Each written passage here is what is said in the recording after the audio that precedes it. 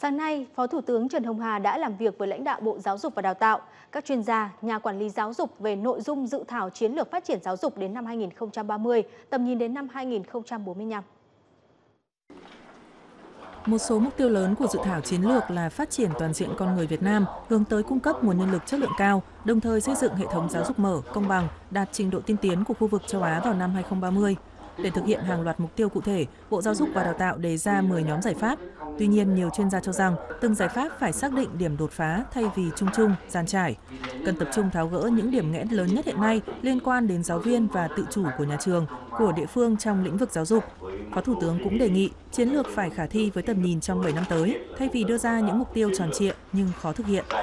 Cả đối với tôi thì phải quan tâm đến những cái vấn đề mà hết sức sát sườn, đúng không? Phải nghiên cứu kỹ đi tức là phương pháp của thầy này, và cũng là đòi hỏi yêu cầu của trò này. Hai là xác định vị trí của trường, nhà trường này, cũng như là xác định vai trò của xã hội. Còn nhà trường chắc là nên sẽ xác định lại là nhà trường là dạy rất toàn diện, nhưng đó là những kiến thức trang bị hết sức ban đầu cần thiết, đúng không? Để cho các em. Vậy thôi chứ. Còn nếu giả sử mà chúng ta đòi hỏi là toàn diện thì làm sao mà toàn diện được? Chúng ta phải xác định cái gì là cái kiến thức mà mang tính chất là để giúp cho các em để dẫn dắt cho các em vào có một cái sự hoàn thiện về mặt thẩm mỹ, thể lực, đạo đức và kiến thức.